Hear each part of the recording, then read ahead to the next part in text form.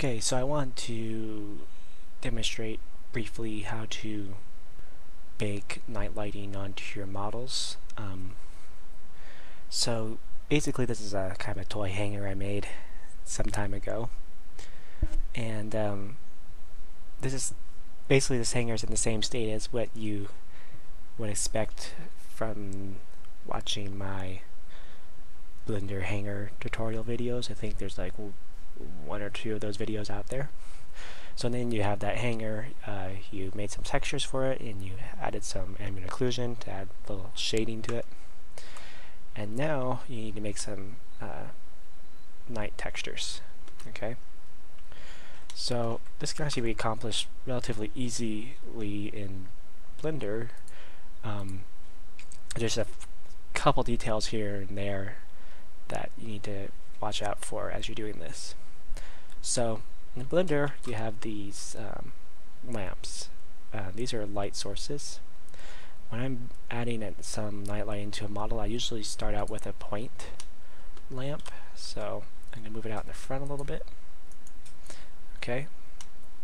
And now generally before you add a lamp um, you want to go over here to your uh, material menu, make sure you assign a material, um, get some color.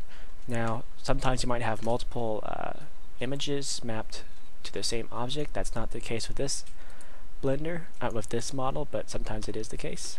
In that case, you need to select all the um, all the mesh that's associated with one that one particular texture and assign it its own unique material. Okay. In this case, I don't know how to do that, but if you did, um, an easy way to do to select all those appropriate uh, faces is to select one face and then press Shift G and then say this is basically select similar and you want to select similar by image. Okay. And since this is all the mapped to the same image, it selected everything. Okay, and as you can see, we're good to go. If we go to solid view, you can see it's all assigned. Okay. So now, after you've done that, you want to go to the texture menu and add a new texture. So we press new, and we'll open, well, first of all, I want to make sure the type right here is set to image or movie. Usually it's not set to this by default. So you set it to image or movie, and then you press open. And uh, want to navigate to our texture that we made. So I believe it's this one. Okay, so you kind of see a preview here. I generally select the UV map thing here um, and select UV coordinates. Okay.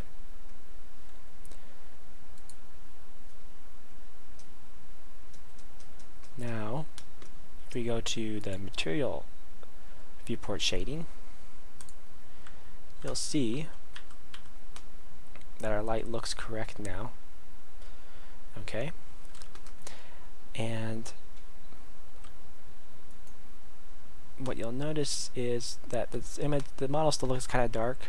That's actually okay. You'll still actually be able to see the uh, if it's if it's completely black on the texture, you'll still actually be able to see the model partially in Flight Sim. But sometimes I like to add a little very light ambient light across the whole model. So th the way you can do that is um, is add a hemi lamp here. So I did that. I'm going to move it up and over. So it doesn't really matter where I put it, it kind of lights up everything. And then I can just lower the intensity of this light. So, just kind of like that. Again, I'm in, I'm in material viewport shading so I can see things uh, change on the fly here.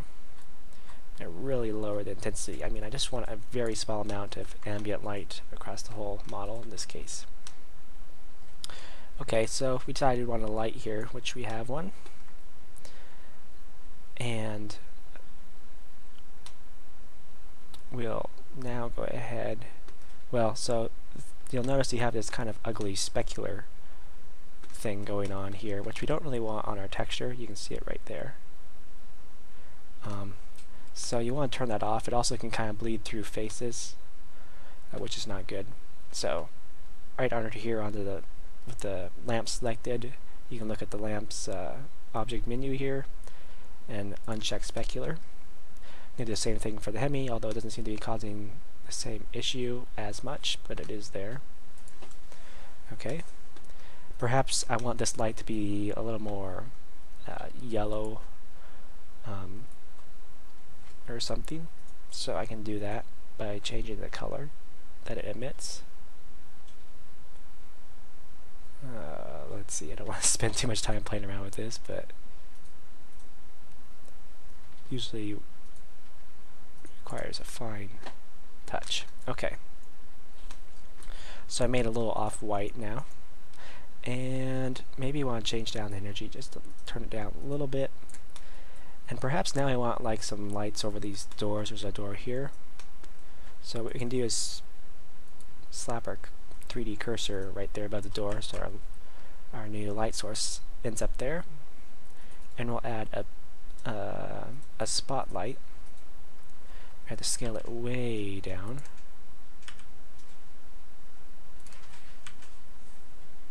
Then I'll move it out just a little bit. Okay.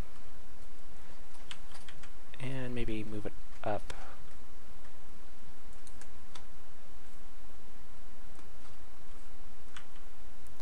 So you can kind of play around with this, scale it, and all sorts of things. Kind of get yourself a spotlight effect if you want. And I'll move it over here. I, I tend not to use these as often. I don't think they look as realistic in a lot of cases, but sometimes I do. I'll rotate it 90 degrees.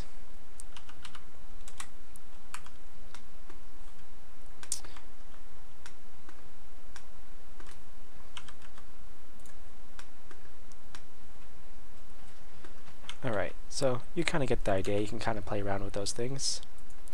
Okay, now we can try to bake this, but I don't think it's going to work, and I'll tell you, show you why in a second. So we'll go down to, we'll go back to the render menu here with our object selected. Um, we want to create a new image here, just so that we don't accidentally overwrite our daytime texture. So I'll just, you know, make a new one, something like that. Okay. And then I'll turn down the margin. And here we want to set the bake mode to full render. And then we'll press bake.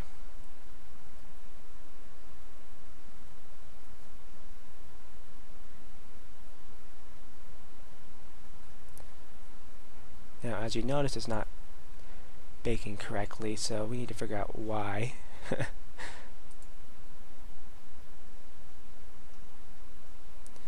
uh, reload that Yes, actually, so here's one problem is we need to take all our geometry and move it to, map it to the new image here.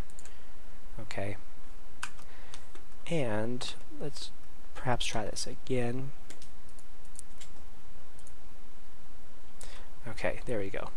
So at first, at first glance it looks like it's doing the right thing, but then you notice there's no uh, lights baked to it. So generally what causes that in my case is that I'll have been uh, baking ambient occlusion and if you're familiar with how I do that here in the world menu there's this thing called ambient occlusion this checkbox and yeah I check that before I bake bake the AO well that messes things up over here when you're trying to bake the light so you need to make sure that's unchecked so that's very important that you check that if you mess around with that at all and now we'll try and bake again and this time everything worked. So you can see our lights are baked onto the texture. Um, so now we can uh, view this texture by just going straight to the to change the viewport shading to texture and I'm going to turn off the lamp so we can see how it looks. So I'm going to change it our scene to selected and then turn off their camera rendering things. I think that's all I had to do, but maybe not. Oh well, maybe I have to delete them. Okay, there we go. And so there we have it. This is just uh, straight up the texture, how the texture looks like on our model. And so what you can do is load your model when you convert it, export it to Flight Sim, you load it into Model Converter X, and then you add, you save this texture here in Blender, and you add it as a night texture in Model Converter X. So I hope that's useful to some of you.